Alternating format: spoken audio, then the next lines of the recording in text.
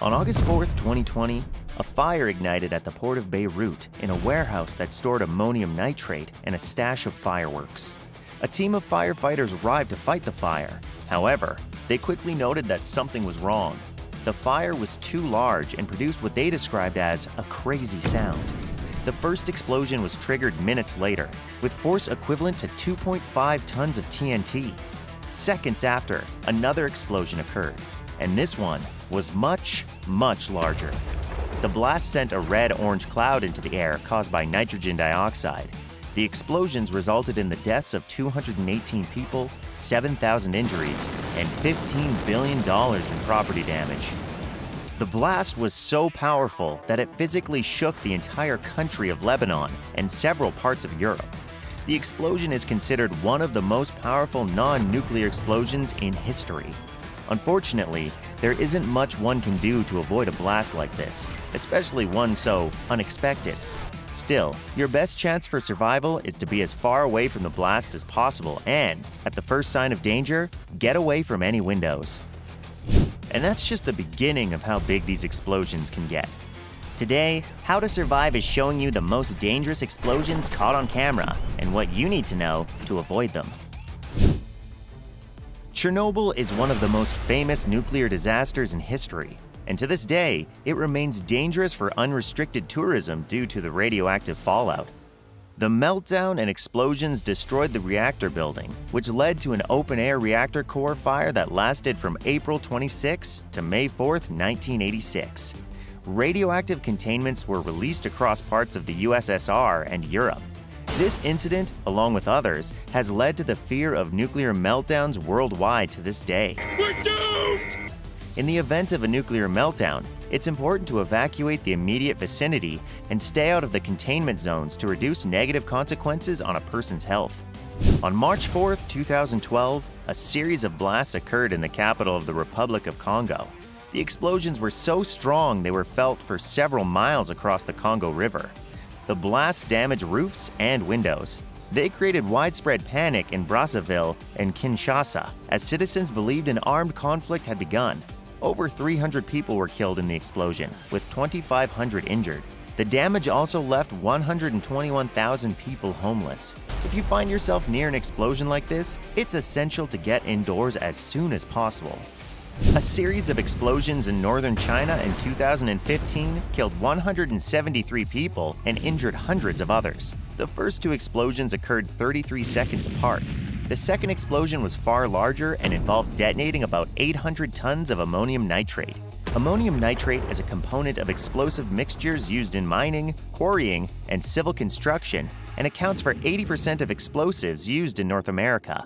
The fires caused by the explosions burned throughout the weekend, which led to eight additional blasts on August 15th. An investigation concluded that an overheated container of dry nitrocellulose was the cause of the initial explosion. Tragically, of the 173 fatalities, 104 were firefighters.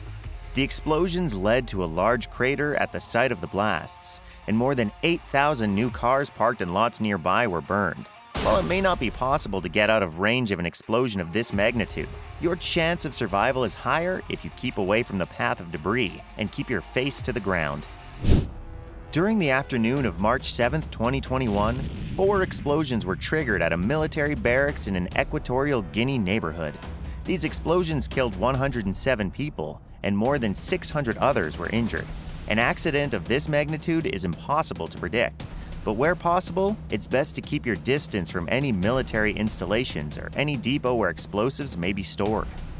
The Tsar Bomba was a thermonuclear aerial bomb and the most powerful nuclear weapon ever created. Devised by the former Soviet Union, the bomb was described as a nuclear device with practically unlimited power. The bomb was flown to State Test Site Number 6 of the USSR Ministry of Defense and detonated anonymously 4,000 meters above the ground. Even without the uranium, the flare of the explosion was visible more than 1,000 kilometers away, in places like Norway, Greenland, and Alaska. The explosion's nuclear mushroom rose to a height of 67 kilometers, and the blast wave circled the globe three times. Survival tip even if you're not affected by the initial blast from a nuclear bomb, get as far away as you can. The nuclear fallout from a bomb like this can quickly kill you after the fact. On October 7, 2017, a petrol tanker at Atomic Junction in Ghana caught fire. The fire resulted in an explosion at the site of a liquefied natural gas station. The fire spread toward a cooking gas depot next door, and as a result, at least seven people died and 192 more were injured. The total cost of property destroyed is estimated to be over $120,000. Trinity was the famous first nuclear weapon detonation conducted by the United States Army as part of the Manhattan Project. The explosion is infamous and has been featured in media since its detonation. This was a turning point in history, as it showed everyone how deadly these nukes can be. On the morning of December 6, 1917, the SS Mont Blanc, arriving late, collided with the SS Imo near Halifax, Nova Scotia. The Mont Blanc was carrying a plethora of high explosives, and as a result, caught fire and exploded, destroying a large part of the city. Nearly 1,800 people were killed, and an estimated 9,000 others were injured. Almost every structure in an 800 meter radius was completely destroyed, and a pressure wave snapped trees, bent iron rails, demolished buildings, grounded vessels, and scattered fragments of the ship for miles. And if that wasn't bad enough, a tsunami created by the blast eliminated the community of Micmac First Nation who had lived nearby. The blast was felt in Cape Breton, over 200 kilometers away, and created a cloud of white smoke that rose to at least 3,600 meters. People ran toward the smoke when they saw it. If you're trying to survive, this is the last place anyone should go in an event like this. If you see smoke, there's fire. And if there's fire, that's a place you should not be. The N1 launch explosion occurred on July 3, 1969, in the USSR. The N1 was a super heavy lift launch vehicle that was intended to deliver payloads beyond low Earth orbit.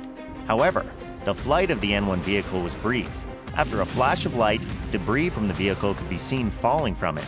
The engines immediately shut down, with the exception of one, which led to it leaning at a 45 degree angle and dropping back onto the launch pad, and damaging the pad so badly it took 18 months to rebuild. The 2,300 tons of propellant on board caused a blast and shock waves so large it was able to shatter windows across the launch complex and sent debris flying as far as 10 kilometers. Unburned fuel was still raining down from the sky after the event for more than half an hour afterward. The explosion was visible from 35 kilometers away. Space launch accidents have been a tragic occurrence, and it's important, as always, to stay away from the windows when an accident occurs and stay indoors to avoid any debris. Explosions are impressive, but there's much more to surviving a nuclear explosion than just staying away from windows. What should you do to survive a nuclear blast? Find out next time on How to Survive.